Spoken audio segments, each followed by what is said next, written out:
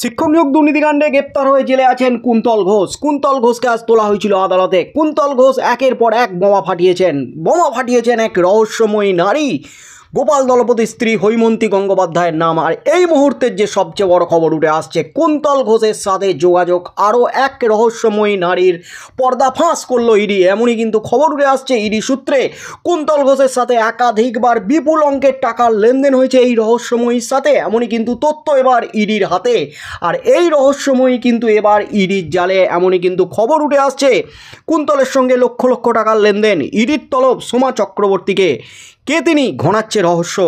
নিয়োগ দুর্নীতি মামলায় হৈমন্তী গঙ্গোপাধ্যায়ের পর উঠে এলো আরও এক রহস্যময়ীর নাম, সোমা চক্রবর্তী।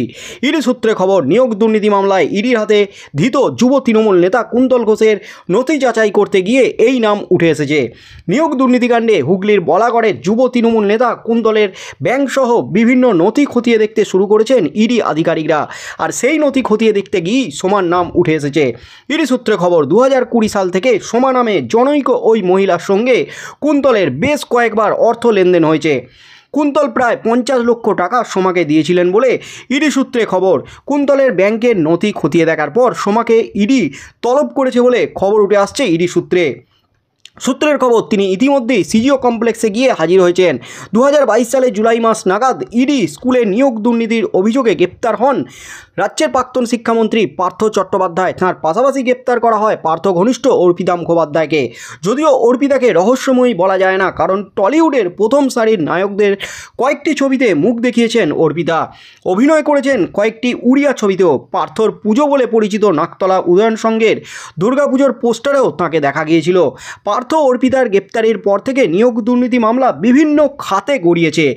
উঠে এসেছে একের পর এক অভিযোগ আর নতুন নতুন নাম। সম্প্রতি কুন্তল দাবি করে, গোপাল দলপতি ওরফে আরমান গঙ্গোপাধ্যায় এবং তার স্ত্রী হৈমন্তী নিয়োগ দুর্নীতিতে যুক্ত। এরপরই হৈমন্তীকে নিয়ে কৌতূহল তৈরি হয়। তিনি প্রকৃত অর্থেই রহস্যময়ী হয়ে ওঠেন, যেমনটা উল্লেখ করেছিলেন কুন্তল। তারপরে দেখা যায়, টুকটাক মডেলিং এবং অভিনয়ের সঙ্গে যুক্ত আছেন গোপাল জায়া। যদিও গোপাল এবং হৈমন্তী দাবি করেছেন, তাদের বিচ্ছেদের আইনি প্রক্রিয়া শুরু হয়েছে।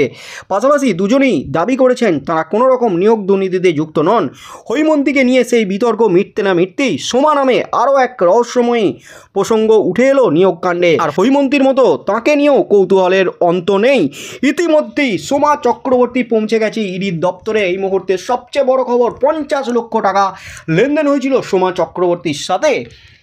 শিক্ষক নিয়োগ দুর্নীতিকাণ্ডে আরও এক রহস্যময়ীর তথ্য ফাঁস, আরও এক রহস্যময়ীর নাম ফাঁস। এই মুহূর্তে সবচেয়ে বড় খবর, কুন্তল ঘোষের সাথে যোগাযোগ এই সোমা চক্রবর্তীর। সোমা চক্রবর্তীকে জেরা চালাচ্ছে ইডি, এমনই কিন্তু খবর উঠে আসছে। ইডির জেরার পর কী স্টেপ নেয়, সেই সব দিকে আমাদের লক্ষ্য থাকবে নজর থাকবে, আপনারা আমাদের সঙ্গে থাকুন। এবং দেখতে থাকুন এডুকেশন বাংলা ইউটিউব চ্যানেল এই সব খবরের লেটেস্ট আপডেটের জন্য চ্যানেলটি সাবস্ক্রাইব করুন এবং নতুন নতুন ভিডিও নোটিফিকেশনের জন্য নোটিফিকেশন বেল আইকনটি প্রেস করুন। সকলে ভালো থাকুন, সুস্থ থাকুন, ধন্যবাদ।